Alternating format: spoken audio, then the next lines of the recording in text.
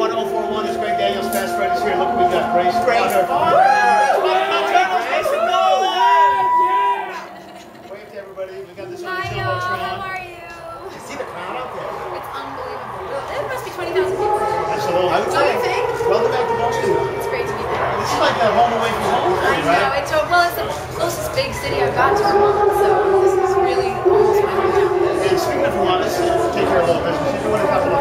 the the, the Yeah, Irene really messed up Vermont pretty bad. Um, we've been working for a long time to try and figure out what the best way would be to do that. And we really focused hard on making sure the money goes to the right places first. So many benefits uh, reached out to us, we wanted to make sure that it was the right one. And we really put our money where our mouth is. So we're doing two shows. One is at the Flynn Theater on October 9th, and then again the following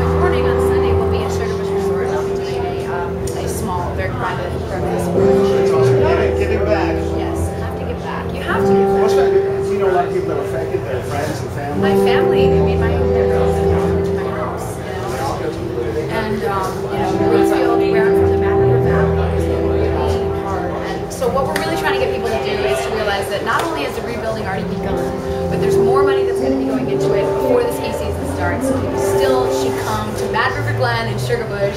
Don't be afraid. It's going to be beautiful and rebuilt by this winter. It's going to be a great season. All right, let's talk about MixFest. You are here today, and you were my pick. Grace, by the way, you were my pick. mean your pick? No, no, wait, my pick to steal the show today. Oh no! He's got the bookie. Is that is that bad though? No, no. if- Did I jinx you? Oh no. I'm No, no, sorry. no. I'll steal it. Okay, good. Because no problem. And, and how about you on the, the country charts now Kenny Chesney? No, Look at I know it's so exciting. I've heard rumor that we're number three now. We were number four.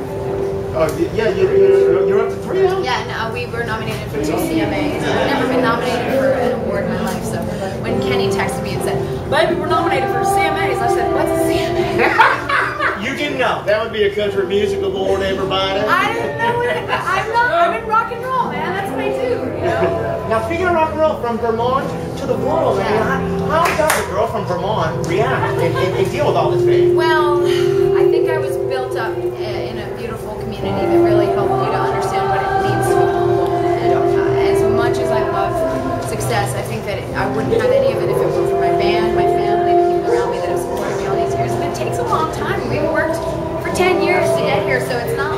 And it's taking off, though. It's taking yeah, off, it's yeah. taking off a little. I, Yeah, yes, there you. It's taking off big time. I, I think it is. I get the sense that that's what's happening. And you're going to rock it tonight here at the Esplanade, the Hatch Shell. We can't wait. So My happy to pick have to you. steal the show. Grace Potter from Grace Potter and the Nocturnals. Say hi to everybody again. She's going to be on stage soon. Love you guys. See you soon. We're live on Mix 1041. Michigan.